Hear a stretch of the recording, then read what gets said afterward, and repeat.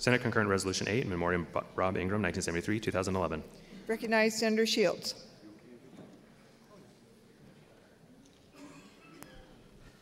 Thank you, Madam President. Three words, Madam President. Three words. Live like Rob. Live like Rob. Those were the words that have become a motto for one of his best friends, Asa Pritchard, Jermaine Atherton, and indeed have become a motto of an entire community live like Rob. Senate Concurrent Resolution 8 honors Rob Ingram in memoriam for his lifetime of work empowering youth in North and Northeast Portland. Among other roles, Mr. Ingram worked tirelessly on gang outreach and prevention and served as the director of the Office of Youth Violence Prevention at the City of Portland. He was the president of the Urban League of Portland's Young Professionals. He was president of Big Brothers Big Sisters, Columbia Northwest African American Advisory Council, and executive director of Empowerment Initiatives. And he was great dad to five wonderful kids and a great husband. Because of his work in the community, because of his work with family, he was awarded in 2010 the very prestigious Drum Major for Justice Award by the Skanner newspaper. Rob Ingram believed in compassionate communities. I had the privilege of working with Mr. Ingram on many public safety concerns in North and Northeast Portland. As our colleague Representative Frederick said in testimony in the Rules Committee last week, while others complained about disconnected youth, and these are Representative Frederick's words, Rob made connections. Somehow he caused young people, particularly young black men, to care almost as much about their futures as he did, because he did care so much. He helped police officers and city officials see the potential in young people seeking a place to belong. Such an ability, Rep. Frederick said, is more art than science, more talent than training, more intuition than calculation. But along with his talent, he applied tireless work and a huge heart. We lost a great leader when that heart stopped, Madam President.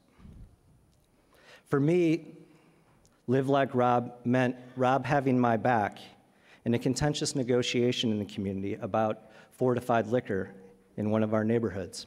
And I'll never forget him having my back all throughout those discussions. The community was shocked by the loss of Mr. Ingram. It happened so unexpectedly and far too soon at the age of 38. But it is truly incredible how much Mr. Ingram was able to accomplish with his limited time here on earth. He will be missed not only for his inspirational leadership and courageous and dedicated work for the community, but also for the example he set for others as a loving family man and selfless support to those in need. Live like Rob, for me, meant watching him line up dozens of dads along the sidewalk in front of Woodlawn Elementary to welcome Woodlawn Elementary school kids to the first day of school. Live like Rob meant taking part each year in tilling the soil, a cleanup project at Jefferson High School that he and I worked with, gosh, for probably seven or eight years with, with Mr. Atherton, Mr. Pritchard, and so many others. Live like Rob meant him spending his Saturday nights driving around in a patrol car with probation officers and police officers to make sure that gang violence was decreased in our communities. Mr. Ingram is survived by his mother, his wife Dana, and their five children Shamia, Dariel, Renee, Naj, and Kai. Uh, in, on the side aisle with us is Milele Hobbs, his mother, James Hobbs, his father, Pastor James Hobbs, his father, Randy Pittman, sister in law, Shardia Booth, niece, Naj, his daughter, and Rakai Adams, a cousin.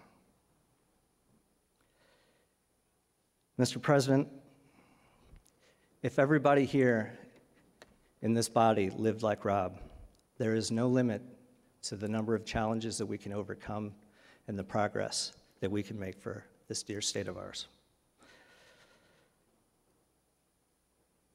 Rob would conclude every meeting at the gang task force at the uh, North Precinct. We go through an entire agenda, and then he'd say, Let's get to work. So, colleagues, let's live life, Rob. Let's get to work. Please join me, an incredible honor, in bestowing our highest honor on Rob Ingram. Please vote aye. Thank you, Ms. Madam President. Discussion, recognize Senator Ferrioli. Thank you, Madam President. Madam President, I did not know Rob Ingram, but as a member of the Senate Rules Committee, I had the opportunity to learn about his life and his contributions and his family and the deep caring that he had for his people, his neighborhood, and all Oregonians. And I would just say that in learning about the details of Rob Ingram's life, I saw the ability to inspire as being a gift from God. And when you see that gift at work, and the, you see the transformational power that comes from that gift, it's awe inspiring. So I would simply say this that I was touched by his ability to inspire, and I think that's his legacy, the inspiration that he gives us all. Thank you, Madam President. Recognize Senator Rosenblum.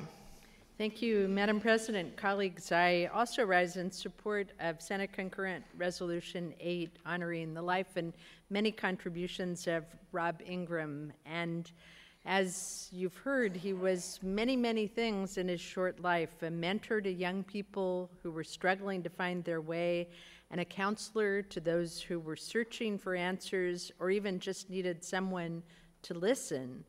He was a tireless worker for the city's Office of Youth Violence Prevention. He would often, as we heard in committee and you heard again today, be out on the streets working with kids, helping them make it through school, connecting them with jobs, doing whatever was necessary to give them a sense of possibility and promise. Rob Ingram touched so many people before his life was cut short, and that's true not only with his work with young people, but also the leadership positions, including as president of the Urban League of Portland's Young Professionals. So it's especially meaningful that we are able to honor him today when we have so many from the Urban League here to join us. Mr. Ingram touched so many people that over a thousand of them attended the service and celebration of his life, and it's great to see so many people here today to honor him. I want especially to thank Mrs. Hobbs. We heard from her in committee, and she's here again today, for raising such a son, somebody who could bring so much leadership and so much joy and just set a great example for young people. And to Dana, who is sitting here on the floor with us, and to Rob's five children. There aren't many people who can bring this much good and this much justice to a world in a short 38 years. And all I can think is that his light shone very, very bright for all of those 38 years but that light has not been extinguished, not at all. It will shine on in his legacy, in all the lives that he touched, in the example of good and justice that he set for our state and our world. And I just want to thank you for sharing him with us. I want to thank Senator Shields for giving us the opportunity to honor him. It is really a privilege to even have been able to talk about such a fantastic person. Thank you. Further discussion? If not, Senator Shields, do you wish to close? He does not. The question now arises on third reading and final adoption of Senate Concurrent Resolution 8. Those are of the opinion the bill should be adopted will answer aye as their names are called. Those opposed, no. The clerk will call the roll. Thomsen, Whitsett, Winters, Baertschiger, Bates. Beyer. Boquist. Burdick. Close. Devlin. Devlin. Dingfelder. Edwards. Ferrioli. George. Girod. Hansell. Hass. Johnson. Knopp. Kruse. Monnes Anderson. Monroe. Olsen. Prozanski. Roblan. Rosenblum. Shields. Starr. Steiner Hayward. President Courtney. 30 aye votes. Senate Concurrent Resolution 8, having received a constitutional majority, is declared adopted. Recognize Senator Winters. For what purpose do you rise? Uh, Return to courtesies, please, Madam President. Without objection. Madam President, would you please extend courtesy and recognition to one of our own who is sitting up in the gallery, Senator Avel Gordly. Courtesies are properly extended to you, Senator Gordly. Uh, Further courtesies?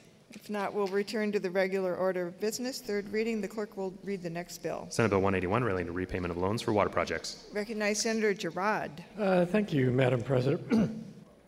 Uh, Senate Bill 181 addresses one of the funds overseen and administered by the Infrastructure Finance Authority, the Water Fund. Excuse me, the Infrastructure Finance Authority. Uh, Money in the water funds are appropriated uh, by OBDD for the Infrastructure Finance Authority to make loans to municipalities for water projects. The IFA may also grant from the water fund in cases where the loans is not feasible for the study or for the asset building purposes. Under current law, loans made by the water fund can be for a maximum of only 25 years. This bill extends it to 30 years. It's a great uh, bill for economic development. It passed out unanimous out of our committee, and I encourage an aye vote. Discussion. If not, Senator Girod, do you wish to close?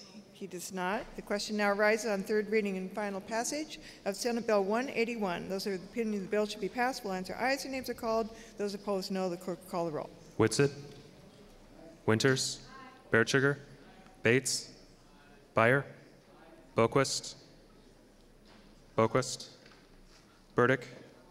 Close. Devlin. Dingfelder. Edwards. Ferrioli. George. Girod. Hansell. Hass. Johnson. Knopp. Kruse. Monnes Anderson. Monroe. Olsen. Prozanski. Roblan. Rosenblum. Shields. Starr. Steiner Hayward. Thomsen. President Courtney. Not answering. Boquist. 30 aye votes. Senate Bill 181, having received a constitutional majority, is declared passed.